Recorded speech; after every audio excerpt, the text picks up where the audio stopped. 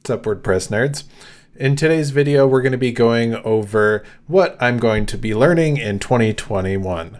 Um, but before we get started with that, I wanted to quickly shout out WP Scan.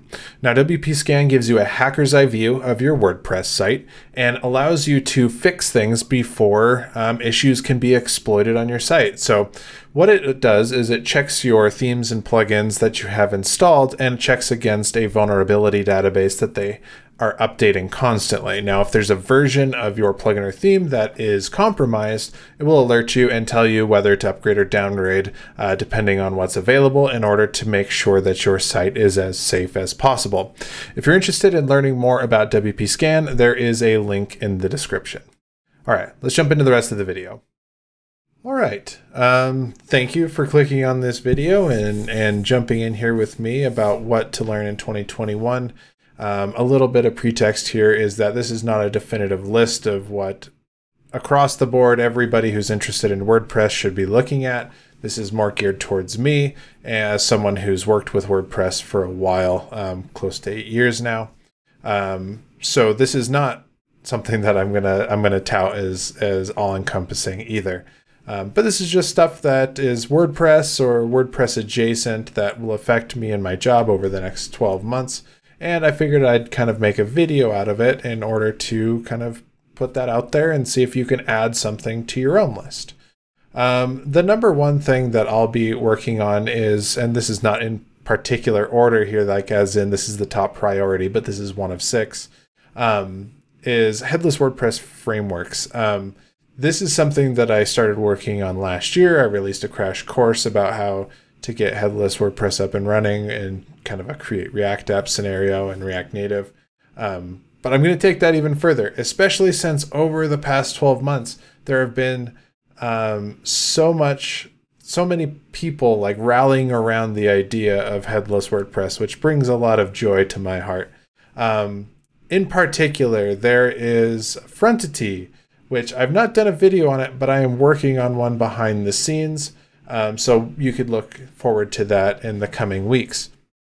But Frontity is a um, a a kind of headless WordPress setup that is very specific to WordPress. Like you can't attach Frontity to something like Contentful or your own API or whatever. This is like you you specifically throw in a, uh, a WordPress site's URL into the settings file, and then it pulls all of that WordPress's data um, into Frontity. Um, it comes with SSR and many other things out of the box, and so that is really nice to uh, um, have. It is a kind of all-encompassing uh, setup for your headless WordPress project. I, I see a lot of promise with it. I've liked a lot of what I've seen so far with it, and I'm really excited to give it more of a try. Um, it is very opinionated, which I mean, I tend to like more opinionated frameworks like Frontity. When React and Angular came out, I, I much liked I liked Angular a lot more than React at the beginning because of its uh, wonderful CLI and it's a you're like you just type in a command and you're generating components and it makes all the files for you and is is very out of the boxy, which I appreciate. Uh, then, of course, there's Gatsby. I've talked a lot about Gatsby on this channel, and um, for good reason. They have been really rallying around WordPress. Uh, Tyler Barnes and Jason Bahl have really taken um, uh, their source plugin for WordPress to the next level, and I'm really excited to see um, the final version of that come out because they've added GraphQL and so many. Oh man, I, I shouldn't even just said GraphQL because now it feels like I got to make a list of all the things. But th- there's a lot of things that they've shown over the past months of you know live previews uh, using GraphQL instead of the REST API. Um, hot like updating for the content and so you don't have to rebuild the entire site every time. Lots of cool things like that. So very excited to see what happens there. Uh, gatsby has a very mild learning curve. Um, if you ask um, ask me anyway uh, it wasn't that bad to get set up. If you know react and you know a little bit of graphql then it's it's pretty simple.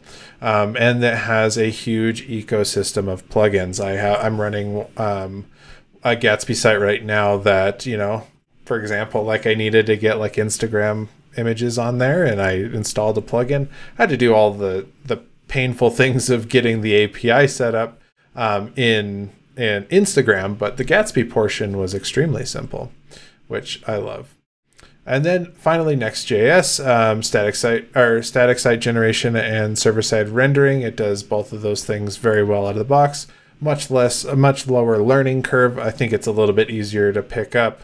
Um, and it is less opinionated on how you can set things up and where you get your information from. Whereas, you know, Frontity is very specific to WordPress, Next.js, and, and of course Gatsby, you can pull things from different places. Um, number two is unit testing framework. So in my current job, this is going to be a task that I'm going to be working on very shortly, where I'm going to be um, making sure that our uh, WordPress project is um, a little bit more bulletproof than it is right now. Um, I'm going to be using a PHP unit most likely for this. And the main reason why I I mean want to even like incorporate tests is because I want to take better care of the sites that I work on. Um, we're expanding our team, so I want to make sure it's easier and safer to incorporate new developers in it, and make sure that I'm pushing good code. If I I don't want to sit like push it up to GitHub and then all of a sudden you know refresh the site on live and see that it's you know broken or that I'm something's not rendering properly. Um, so yeah, very awesome, uh, very awesome project that I'm working on. Very excited about it. And then I've got Mocha in here too because, um, as you'll see, kind of further down the list of things that I want to work on, I'm going to be working a lot more with JavaScript in the future, and so I want to make sure that that has proper unit tests as well. So I plan on working with PHP Unit and Mocha in the next 12 months. Uh, number three is page builders, and uh, I don't love page builders, but page builders love me for some reason. um, I uh, currently work very extensively with Elementor, and I've dabbled with other ones like Beaver Builder, Divi, Oxygen, things like that. Um, Visual Composer, um, which also known as WP Bakery stuff. But it's been nice to kind of be able to learn some of these. Um, I didn't actively go seeking out to specifically learn them, but kind of over the time I've I've got enough knowledge with some of the other one, other page builders besides Elementor to be to be dangerous, and so it's been nice to kind of have that under my belt, and I want to expand that this year. So main reasons is because uh, I get hit up a lot for freelance projects, and um, and just like friends needing sites and things like that. So just setting them up with a page builder is just an awesome way to help out people and let them kind of run things on their own. And sometimes a lot of people are just looking to help have help, you know, set up their their WordPress site with Elementor or whatever. And um, I only take one client on at a time, but if a client shows up and they want to use something like that, it's nice to be able to have that so I plan on doing that a little bit more. Uh, lots of companies use them. I was really surprised over the years um, to find out how many companies, large companies, like very large companies, are using page builders. Um, like Elementor or WP Bakery. Like I, I, I, was very surprised to see that, and so I plan on um, learning a little bit more because of that.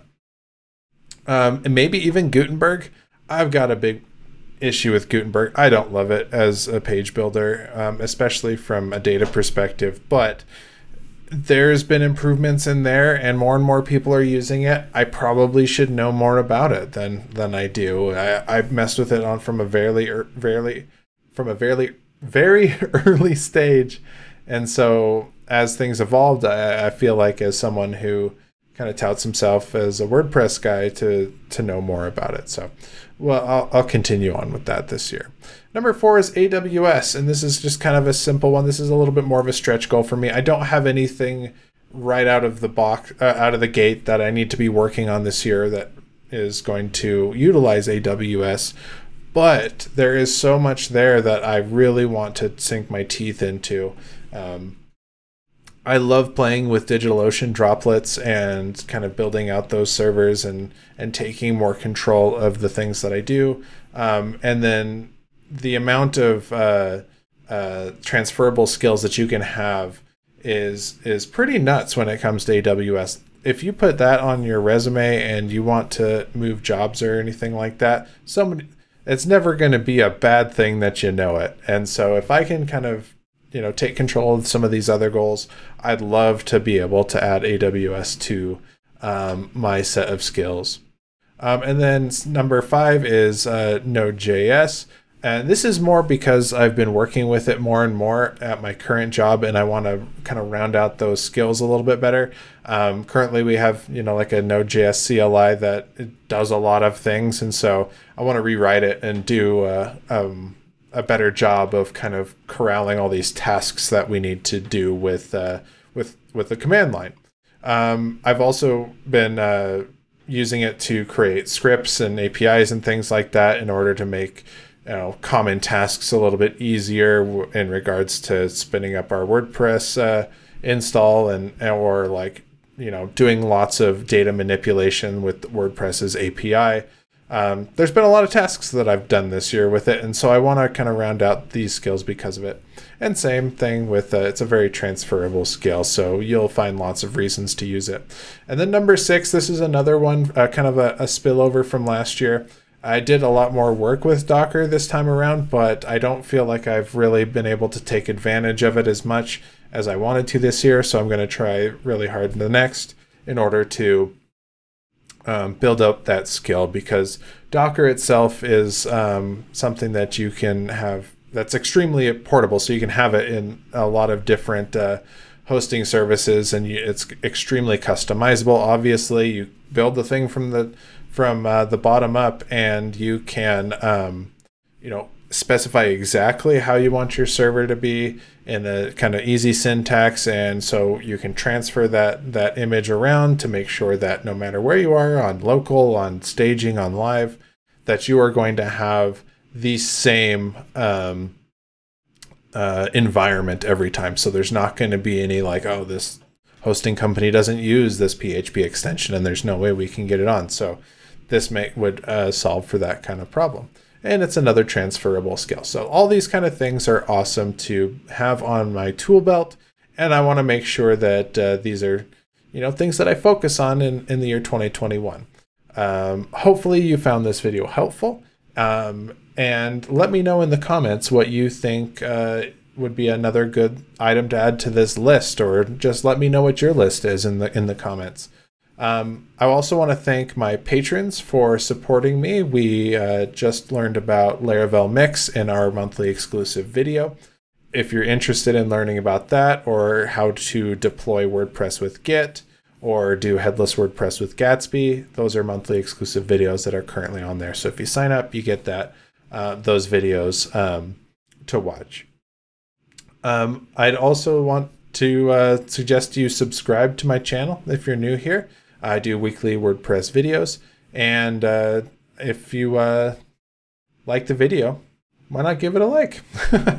so, anyway, I appreciate you guys watching, and I will see you in the next one.